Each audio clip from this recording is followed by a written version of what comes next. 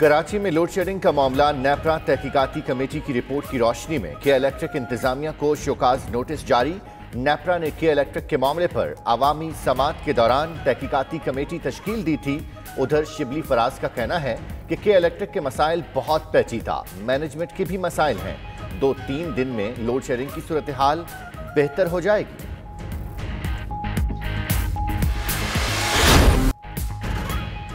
फवाद चौधरी की science fail. Pakistan में जुलहज का चाँद नज़र नहीं आया।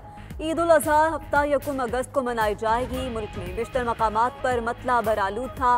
कहीं से चाँद देखने की नहीं मिली। रोयत हलाल कमेटी के इजलास के बाद चेयरमैन मुफ्ती मुनीबुर रहमान का ऐलान। वज़ीर साइंस फवाद चौधरी ने पाकिस्तान में ईद उल अजहा इकतीस जुलाई को होने की पेशगोई की थी।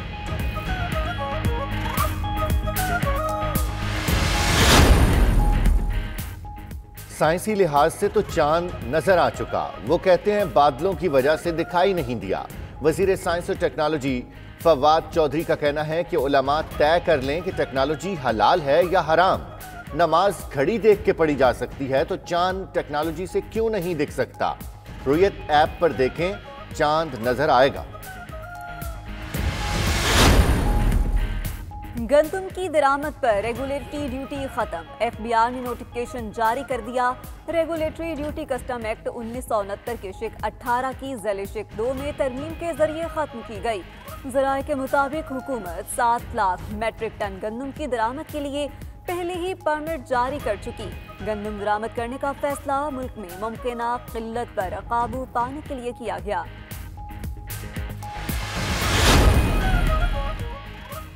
सिंध में गंदम और आटे की किल्लत नहीं, खुद साख्ता बोरान पैदा किया जा रहा है। वज़ीर इत्तलात नासिर शाह कहते हैं कि गंदम के जखायर मौजूद हैं।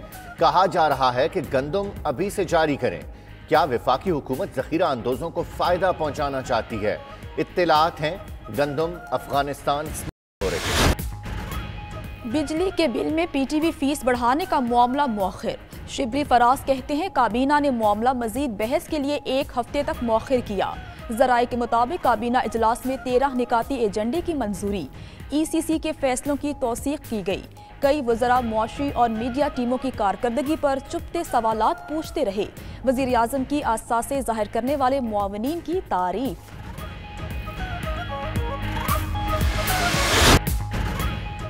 मुस्लिम लीग नून का इदारों पर इंसानी हकूक पामाल करने का इल्ज़ाम। नैब को पॉलिटिकल इंजीनियरिंग का इलाहा करार दे दिया।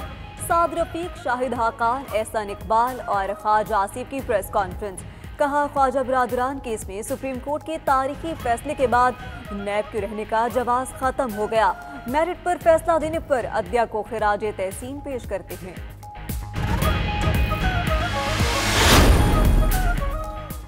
सुप्रीम कोर्ट के फैसले ने साबित कर दिया कि नैब न्याजी से हुकूमत चल रही है। कादिर पटेल का कौमी असम्बली में इजहार ख्याल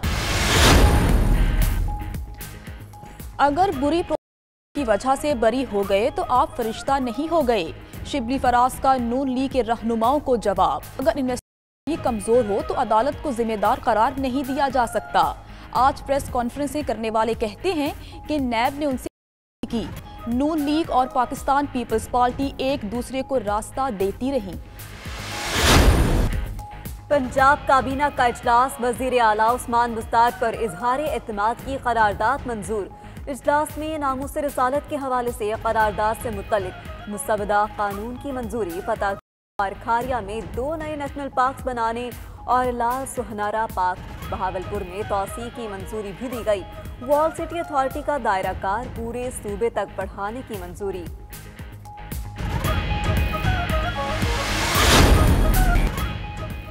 Steve Smith, number one test बल्लेबाज। Pat Cummins number one bowler बन गए। आईसीसी की नई रैंकिंग में बाबर आज़म की एक दर्जा तनजुली छठे नंबर पर चले गए।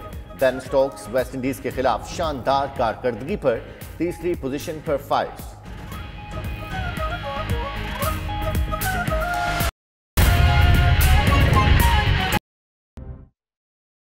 से पहली बात जो की गई वो टीवी लाइसेंस फ़ी जो कि पैंतीस रुपए से पैंसठ रुपए बढ़ा के सौ रुपए करने का एक प्रपोज़ल था। तो काबीना में चूँकि मुख्तलिफ़ आरा थी, इसलिए इस फैसले को मौखर कर दिया गया। और ये बात भी हुई कि वजूहत क्या थी कि इस तरह करना पड़ रहा है कि आप जानते हैं कि पाकिस्तान टेलीविज़न एक बहुत ही एक अजीम इदारा था और उसकी एक बड़ी शानदार तारीख़ है, जिस तरह के हमारे और कई ऐसे नेशनल इदारे हैं जिनकी की शानदार तारीख़ है, जिसमें पी आई ए है पाकिस्तान स्टील है, ये सारे इदारे जो है तो एक अज़मत के निशान थे। और जूँ जूँ वक्त गुज़रता गया, आती जितनी भी हुकूमतें थीं तो बजाय उन्होंने इदारों को बनाने या उसको मज़ीद उसमें निखार लाने के, उसको तबाही की तरफ़ ले गए। पाकिस्तान टेलीविज़न एक ऐसा इदारा बन गया उसको बना दिया गया जिसमें कि सियासी भर्तियाँ Peoples Party Pakistan Muslim League Noon एक ऐसे आ, उसमें एक बद इंतज़ामी और मेरिट के बरक्स जो भर्तियाँ की गई उसने ज़ाहिर है कि उस इदारे को बिल्कुल ज़मी बोस कर दिया है।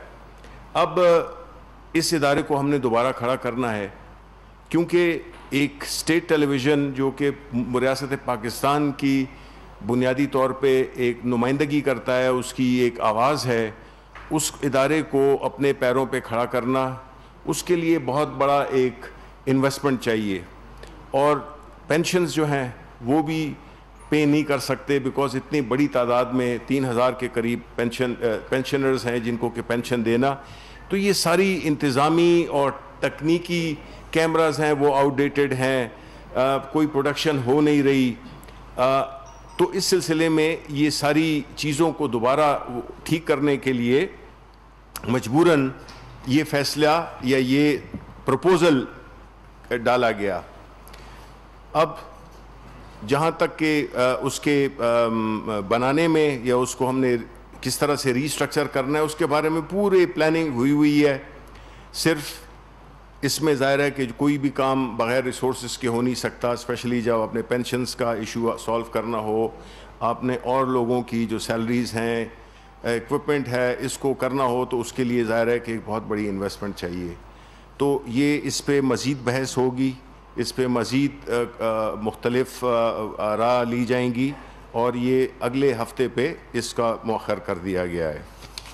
दूसरी बात जो हुई, वो काबीना ने जो प्राइम मिनिस्टर साहब ने जो एक इनिशिएटिव लिया था, एक अपनी जो उनका हमेशा से एक मौक़ रहा है कि जो भी अवामी नुमाइंदगे नुमाइंदे होते हैं, उनको अपने असासे डिक्लेयर करने चाहिए। और ये काम उन्होंने जब 2011 में किया था जबकि उस वक्त हम जो भी कोर कमेटी के मेंबरान थे उनको कहा गया था अपने असासे डिक्लेयर करने के जो कि हमने किए।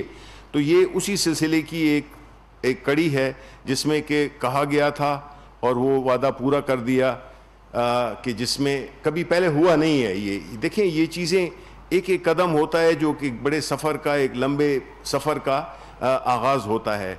इसमें शफाफियत के आपके जो अवामी नुमाइंदे हैं उनके बारे में आपको पता होना चाहिए। और जो अवामी नुमाइंदे नहीं हैं जो कि एडवाइज़र्स हैं या special assistants to the prime minister हैं वो भी चूँकि हुकूमत का और काबीना का हिस्सा होते हैं उनको भी इस चीज़ पे आ, वो किया जाए मजबूर किया जाए या उनको उन पर भी ये शर्त आयद की जाए जो कि मंतखब नुमाइंदों पर होती है जो कि वो अपने असासे।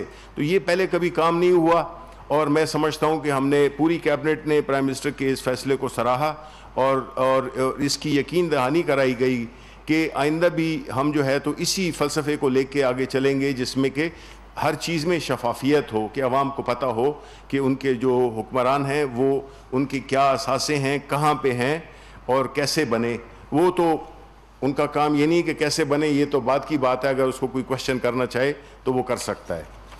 दूसरी बात जो हुई वो कि पिछले हफ़्ते आपने, आपको याद होगा कि दयामीर भाषा डैम उसका अफ्ताह किया गया। मत अफ्ताह तो नहीं, उसके काम को आगे बढ़ाने के लिए उसको ज़मीनी ज़मीन पे लाने के लिए, क्योंकि ये तो बहुत पुराना प्रोजेक्ट है। शफाफियत हो, कि आवाम को पता हो कि उनके जो हुक्मरान हैं, वो उनकी क्या असासे हैं, कहाँ पे हैं और कैसे बने।